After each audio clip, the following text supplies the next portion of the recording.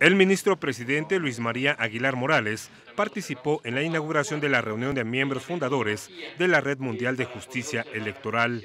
instancia que tendrá como objetivo analizar los principales problemas que aquejan a la justicia electoral y compartir experiencias para solucionarlos.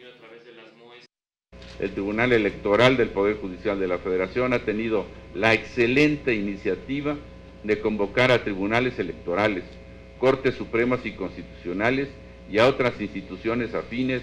con el objeto de crear una red que permita ofrecer un espacio para la reflexión especializada y transversal sobre los principales dilemas normativos, teóricos y sin duda prácticos que hoy enfrentan los órganos responsables de garantizar y hacer valer la justicia electoral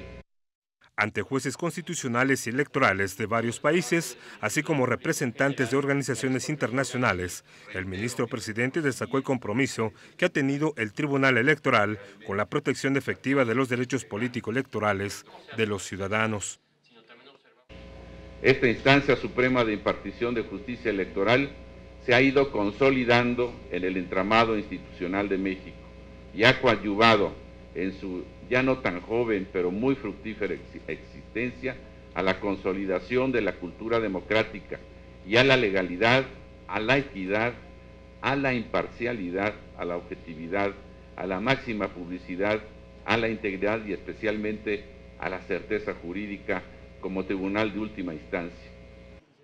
En entrevista, magistrados del Tribunal Electoral del Poder Judicial de la Federación resaltaron la importancia de crear una red mundial de justicia electoral.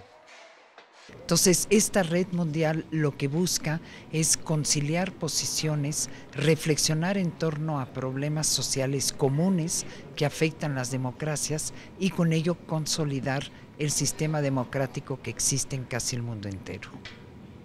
Mire, el principal objetivo es generar un espacio para compartir los dilemas comunes que está enfrentando la justicia electoral a nivel mundial, siendo un pilar fundamental para los sistemas democráticos del mundo.